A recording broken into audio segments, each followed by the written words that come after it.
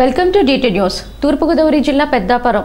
RDO కార్యాలయం నందు నేడు అధికారులకు ప్రత్యేక ఓటర్ల జాబితా తయారీకి ఎన్నికల కమిషన్ ఆదేశాలు జారీ చేసిందని పెద్దాపురం ఆర్టీఓ ఎస్ మలిబాబు పేర్కొన్నారు. ఈ నెల పదిహేనవ తేదీ నుండి డిసెంబర్ పదిహేనవ తేదీ వరకు ప్రత్యేక ఓటర్ల జాబితా తయారీతో పాటు పద్దెనిమిది సంవత్సరాల నిండిన ప్రతి ఓటు నమోదు కార్యక్రమాన్ని చేపట్టినట్టు పేర్కొన్నారు.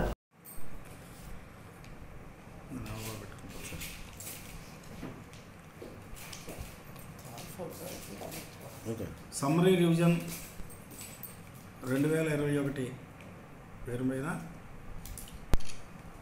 భారత ప్రభుత్వం యొక్క ఎన్నికల సంఘం ఓటర్ల జాబితా రివిజన్ టేకప్ చేసింది. ఈ నెల ఆ, పదకొండో తారీఖున మొదలైంది.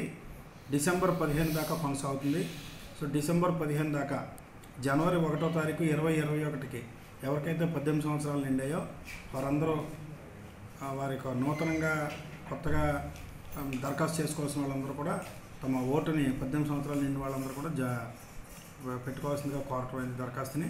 ఇది ఎలక్షన్ కమిషన్ యొక్క వెబ్సైట్లో ఆన్లైన్లో కూడా పెట్టుకోవచ్చు. లేదా తహసీల్దార్ కార్యాలయంలో కానీ ప్రతి booth level booth polling booth దగ్గర అక్కడ ఉండే బూత్ లెవెల్ ఆఫీసర్ దగ్గర అప్లికేషన్ తీసుకునైనా కూడా పెట్టుకోవచ్చు.